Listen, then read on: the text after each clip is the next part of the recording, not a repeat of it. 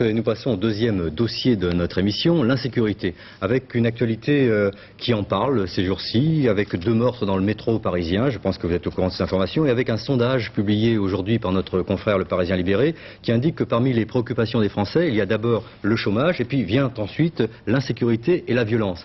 Mais Martine Salvador, ce n'est pas exactement l'angle de, de votre enquête. Vous, vous cherchez à savoir comment on peut aider les Français à euh, échapper au cycle de la violence et de l'insécurité Oui, tout d'abord, je pense qu'il faut noter qu'il faut être très prudent sur euh, toutes les campagnes qui sont menées par certaines presses et par certains hommes politiques qui font leur chaud gras avec l'insécurité. Je veux dire que c'est vrai, ça entretient des psychoses qui servent à certains. Ça existe aussi, l'insécurité. Ça, ça, ça, existe effectivement, mais il faut aussi euh, faire la distinction entre la véritable criminalité et certaines tensions sociales qu'on peut trouver, par exemple, dans les cités, et c'est réel. Alors, comment résoudre Alors, ces tensions justement, sociales, il y a une Martine? réponse, une réponse qui est d'ordre urbaniste.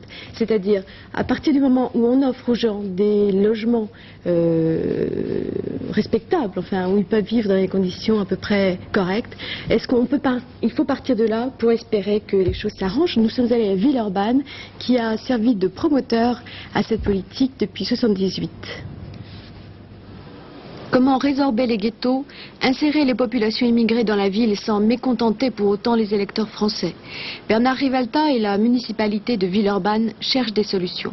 En 78, ils décident de détruire la cité Olivier de Serre, foyer de tension et de violence. Une opération à long terme, car il a fallu reloger 300 familles sur la commune ou sa périphérie. Et ce n'est pas fini. Mais suffit-il de détruire les ghettos, de reloger les gens dans des conditions décentes pour apaiser les tensions Euh, c'est pas parce qu'on aura supprimé les ghettos qu'on aura supprimé ces tensions. L'urbanisme, c'est vrai, c'est la base de tout, mais c'est parce que vous avez un projet urbanistique que, vous pouvez dessus avoir un projet scolaire, une école ouverte ou non, quel type de relation avec les enseignants, que vous pouvez avoir un projet socio-éducatif, que vous pouvez avoir un projet socio-culturel. Et c'est donc effectivement parce que vous avez organisé l'urbanisme en conséquence que vous pourrez amener les choses supplémentaires qui vous permettront de régler les conflits sociaux. En même temps que je crois qu'il y a une donnée qui est fondamentale, que l'on oublie trop souvent, c'est la donnée du temps. Euh, la France est un pays d'accueil d'immigrés et euh, tout le monde sait très bien que depuis des générations, les différents pays qui ont alimenté euh, nos bases sociales se sont petit à petit intégrés avec le facteur temps. Certaines familles immigrées s'adaptent mal aux appartements en HLM et sont mal supportées par les voisins. Alors, dans le futur Olivier de Serre, 14 pavillons sont prévus pour accueillir ces familles nombreuses. J'avais ici, mais non, bon. J'avais ici 5, ça me suffisait, mais non, je peux plus.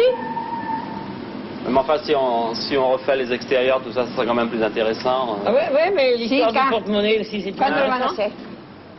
Deuxième type d'opération, la réhabilitation de deux ensembles, la boube et les volets bleus. 280 foyers, personnes âgées, familles immigrées. Coût prévu 3 milliards de centimes.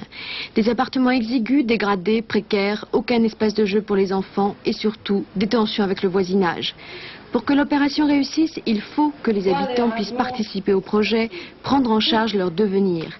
Sociologues et travailleurs sociaux sont chargés de mobiliser les énergies sur le terrain. Bah, disant qu'ils vont tout refaire. Ils allaient tout refaire. Nous, ça fait 23 ans qu'on habite dans le quartier.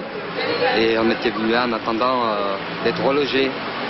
Et euh, ça fait 23 ans qu'on attend, on habite toujours ici. Ça serait mieux d'accord qu'ils soient un peu plus propres, quoi. Comme euh, Villeurbanne, et je vois qu'ils sont en train de tout refaire les immeubles. Bon, ça ferait un quartier, ça changerait notre vie, quoi. Que quand- ça changerait, oui, parce que quand on voit un quartier comme ça, on dit euh, un quartier mal famé, quoi. Les éducateurs, eux, craignent que ce projet ne prenne pas suffisamment en compte les besoins réels des gens. Moi, je pense que la municipalité voudrait que tout se passe bien. Et nous, on se différencie vis-à-vis de ça dans le sens où on veut donner la parole aux gens.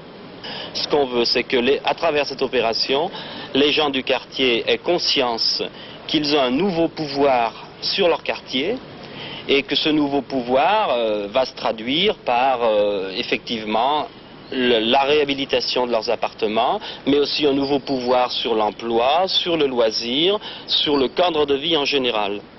Dès qu'on parle de, certains quartiers, c'est tout de suite le sentiment d'échec, de culpabilité, parce qu'on habite ce quartier. Je pense qu'il peut se permettre que ça se passe bien, c'est que tous les gens euh, prennent conscience qu'il y a un effort collectif à faire de la part de chacun, de façon à ce que, dans la suite, on puisse dire qu'on est fier d'habiter à la boue. C'est à tous les niveaux qu'il faudra travailler. Hein. C'est pas seulement au niveau des enfants eux-mêmes, mais même au niveau des, plus grands, au niveau des, adultes, au niveau des écoles, au niveau de, même au niveau des pouvoirs publics. Il faudra qu'ensuite il y ait des moyens débloqués pour faire une animation vraie sur le quartier. et les volets. Rénover c'est bien, mais les habitants savent que ça ne suffira pas à changer l'image que les autres ont d'eux. Les jeunes considérés comme des délinquants ne trouvent pas de travail, les enfants sont en situation d'échec scolaire. Ce sont tous ces éléments qu'il faudra prendre en compte si l'on veut venir à bout des ghettos. les jeunes de la bouffe, bon, ben, on, dit qu'ils et tout, on va faut dire qu'ils n'ont pas beaucoup de choix, ils ne peuvent pas faire autrement.